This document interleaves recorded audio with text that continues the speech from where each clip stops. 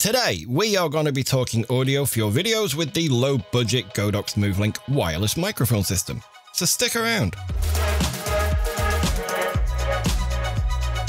This is going to be the first in possibly a series of videos about audio and different microphones. I've had a few sent to me to check out, so this is just the one we're getting to first. But before all that, yes, I have to address my absence. Some of you might have noticed that I haven't really posted anything in a while. I had some health issues towards the end of last year and the first few months of this year, but I think that the worst is behind me now. Thank you everybody for all your messages, emails and comments, checking up on me and seeing how I was doing. It'll take me a while to get fully back into the swing of things, but we're going to give this a go. Starting with this microphone, the Godox MoveLink M2. Godox, as some of you will know, is a company famous for its photography strobes and continuous LED lights for video. I've featured some of them here on the channel before. Well, now they've branched out into microphones and their entry into the world of compact wireless lav mic systems is the Godox MoveLink. It comes in two flavors. There's the MoveLink M1 and the MoveLink M2, which come with one or two transmitters respectively. The one I have here is the MoveLink M2, the dual microphone kit. Inside the box, we're not confronted with much. There's a little manual, a black box, a grey box with Godox written on it, and a couple of fluffy things. So let's go through them. This is the charging case and it lets you charge up all three devices with a single USB cable on the end there. If we open it up, you can see all three devices inside. And if we pull one of them out, you can see the connection points there and the little, whoops, and the little magnet that holds it in place. Each transmitter features a built-in microphone as well as a 3.5mm TRS socket for plugging in an external lav mic.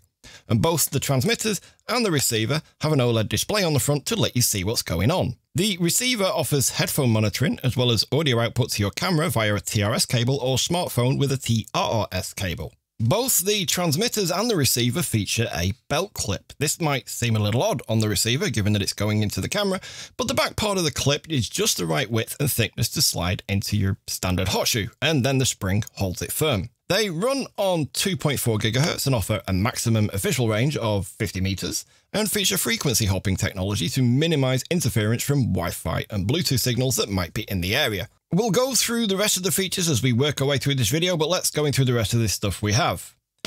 So inside the black box, we have a wired lav, a TRS cable, TRRS cable, another wired lav, oh, a couple of magnetic little sticky dots or metal dots. And we have a type A to type C USB cable, a little lanyard, and two more USB cables. So, as well as being able to charge in the case, Godox has included three separate USB cables so that if you do want to charge each one individually instead of the using the case, you can do that too. Now, this is the Godox MoveLink M2 kit, so you can see here that there are two included lavalier microphones, and we've also got two fluffy windshields here too.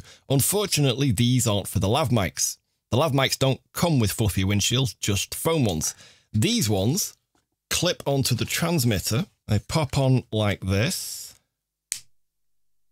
And that's it. And they block the internal microphone from wind. But it's a bit of a lump when this is clipped to your chest. So, speaking of clipping to your chest, there are these little magnetic discs that I mentioned a second ago when I pulled them out of the box. These let you avoid the clip bunching up your shirt or whatever you happen to be wearing that you're attaching it to. Attaching this to your neckline doesn't always look the best and sometimes you might want the microphone just a little further away from your chin. So you can use the magnetic clips to attach the transmitter to another part of your shirt that perhaps doesn't sag so much or just a spot that picks up your voice a little better. All right, now we've been through all the bits, let's have a listen and see how they sound. And it doesn't say, there isn't a specific end that it says is for the receiver and the camera, so I guess it can go either way.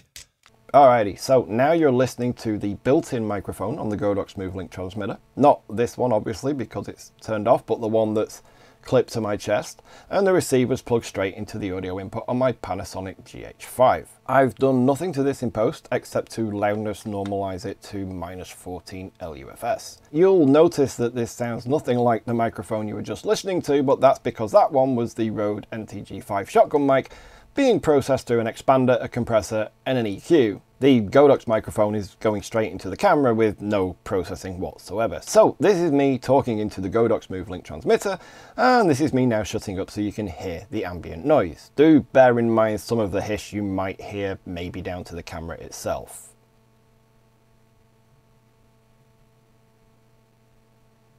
Okay, so this is how the microphone sounds going into the GH5.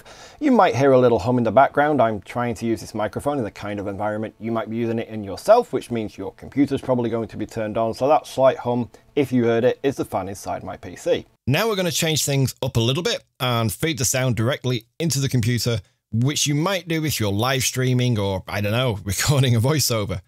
I picked up the Behringer Uphoria UMC 404 HD recently, along with all these other bits for another project I'm working on. It's a USB audio interface that provides me with four input channels that I can record all at once to separate files. Inputs 1 and 2 go through all this stuff down here below, and channels 3 and 4 just go straight into the computer with no processing whatsoever. So I am going to be using this splitter cable to plug the receiver into channels 3 and 4. So now you're hearing the receiver plugged directly into the Behringer USB audio interface, completely clean without any processing, recorded straight into Adobe Audition, and I'm using the internal microphone built into the transmitter, clipped into my shirt. I'll go silent now so you can hear how the noise and the room ambient sounds through the USB interface. We'll leave it plugged into the computer for now and I'll go over some of the features of the transmitters and the receiver. First up, the receiver. Here we've got two outputs on top. One goes to your camera's microphone input or the USB audio interface in this case, and one going to a pair of headphones to let you monitor the audio that's going into your camera. Handy if your camera doesn't have a headphone jack of its own. On one side we have the power button as well as up and down buttons for adjusting the gain on the two transmitter channels and on the other side we've got the pair button which also doubles up as a button to switch between mono and stereo. In stereo mode, one transmitter goes to the left channel and the other goes to the right. In mono mode, both transmitters, or one transmitter if you're only using one, gets sent to both channels. If you're recording something like a two-person interview where you have two people being recorded on separate microphones, you'll want it in stereo so that you can adjust each person individually in the edit to make sure that one isn't significantly louder or quieter than the other. If you're just recording yourself with a single transmitter, stereo still works, but having the receiver send out a mono signal potentially can make your life a little easier when editing because you won't have to worry about the sound only coming out of one side. I think Godox missed a trick with this feature though, because there doesn't appear to be a way to send a safety channel if you're only using a single microphone. A safety channel is a copy of the mono signal sent down the second channel at a lower gain setting, typically minus 20 decibels. This way, if your subject starts talking too loudly and clips on the main recording, you've still got that lower volume second channel to fall back to. On each transmitter, you've got very little at all. On the top, you've got the built-in microphone and the socket for a plug-in lav. On one side, we've got power and mute buttons, and on the other, we've got the pairing button, which is largely unneeded as these pair really well all by themselves. You can see on the receiver here that it's already paired up with one transmitter, that's the one you're listening to right now, and if I turn on the second, you'll see that this automatically pairs up on the second channel. And there you can see both of the little meters going up as I talk. One of the great things I like about this system versus my old wireless lav setup is that the transmitters aren't bound to channel A or B. It's first comes, first served. Whichever transmitter gets turned on first, that's channel A whichever one gets turned on second is channel B. This might take some getting used to if you're on a set with a whole bunch of mics and you rely on having certain voices coming in through certain channels, but for solo shooting, run and gun stuff, vlogging, live streaming, not having to spend time figuring out which is your A and B transmitter definitely helps speed up the workflow a bit. So now that we've heard the built-in microphone, how does the supplied lav sound? The first test is with the supplied lavalier microphone that comes with the MoveLink system and that's what you're listening to right now. I've got it plugged into the transmitter here and I've got it clipped onto my shirt. In theory, the sound coming from the lav mic should be clearer than the built-in microphone, although the built-in mic didn't sound that bad to me in tests I'd done before I started shooting this video. This is the first time I'm trying it with an external lav though, so you're listening to this at the same time I am. Now I'll go quiet again so you can hear the noise and the ambient difference between the two. Okay, and now I'm going to swap over to the Rode Lavalier 2. Okay, slight change of plan. I was going to show you the Rode Lavalier 2 and let you hear how that sounds with it, but the Lavalier 2 doesn't go all the way in because this is a screw link fitting. The screw fits around the connection um, that this doesn't have, so it doesn't actually hold in.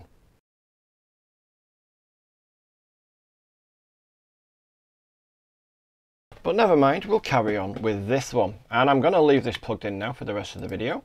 Okay, now that we've gone over its features, let's talk a little bit about what's missing, what's not so great, and what could be improved. First, we'll talk about the features it doesn't have that people are starting to come to expect from microphones like these today. The first is internal recording on the transmitters.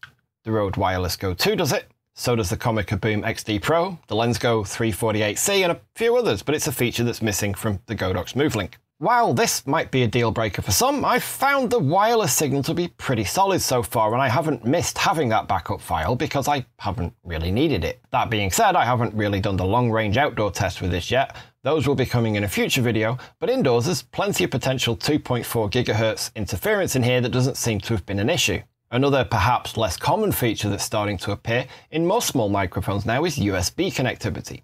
And I don't just mean a little USB dongle to add a TRRS socket to your smartphone. I'm talking about your computer or smartphone seeing the receiver as an actual digital audio device. Again, the Rode Wireless Go 2 can do this, and so does the Comica Boom XD Pro, but the Godox MoveLink does not. With as many people as there are out there now live streaming, podcasting, vlogging, or just chatting on Skype and Zoom, being able to skip your computer's preamps and go straight into the USB port with a digital audio signal typically brings a noticeable improvement in audio quality. When it comes to what's not so great and what could be improved, probably the biggest thing that sticks out to me is the muting of the transmitters. Each transmitter has a little button on the side of it so that your talent can mute the microphone whenever they wish. After all, nobody wants to take a bathroom break wearing a hot mic. Speaking of which, it'd be nice if the receiver could mute the transmitters remotely too. It works well, it mutes when it's on and it doesn't when it's off, but the big issue with it is that it's not very clear from looking at it whether you're muted or not. So when you hit the mute button, the little microphone logo on the OLED display gets crossed out to tell you that it's off. But that's it. If you've got this pack on your waist and you hit the button, especially if it's hidden underneath an outfit, you can't always easily see the display to check if you're muted or not. There's also no indication of the mute status on the receiver itself. It doesn't tell me if someone's pressed the button. So if nobody's talking and you just assume your mics are good to go without actually listening to them and hitting record, you might find you've recorded nothing. So you'll want to make sure to get your talent to say something to ensure the level meters on the receiver are going up as expected. If they're not, have them check if their microphone's muted. Another thing that's slightly annoying is the charging case. It fits the receiver and two transmitters perfectly and it has a single Type-C socket on the side for just one cable and when you plug everything, they all charge up great. So what's the problem? Well, there's no room to actually fit the charging cable inside the case with these or the wind muffs, or the audio cables, or the wired lavs. So you'll have to remember to pack all those somewhere else, that you won't forget them when you need them. With all that lot being said though, these are only problems if they're a problem for you. If you're always sending audio into the camera and you're recording with the internal mic and you're confident you'll get no Wi-Fi interference and you can stay on top of the whole muting thing, then the sound quality from these is pretty good. The other thing to remember is that while this might not have all the features of the competition, it also doesn't come with the same price tag, coming in at only $200 for the two mic kit or $140 for the single lav kit. And not only is it cheaper, but it actually comes with things that some of the more expensive wireless systems don't, like wired lav mics and a charging case. If you just need a single inexpensive wireless mic for vlogging and you're not worried about the missing features, the single lav version is a great value wireless lav kit in terms of quality and performance for what you pay. Stepping up to the 2 lav kit is still a bargain when compared to something like the Rode Wireless Go 2 if you can live within its limitations. But it's not the only dual microphone kit out there for 200 bucks these days. There are a few others, and I have some of them here, and I'll have reviews of those live in the coming weeks, and maybe a comparison of some kind at the end of it all. But that is it for the Godox MoveLink M2. What wireless microphone system do you currently use? Let me know down in the comments below. If you like this video, don't forget to give it a thumbs up and subscribe if you want to see more. Drop a comment down below if you have any questions or if there's anything you want me to test with these. Thanks for watching, and I'll see you next time.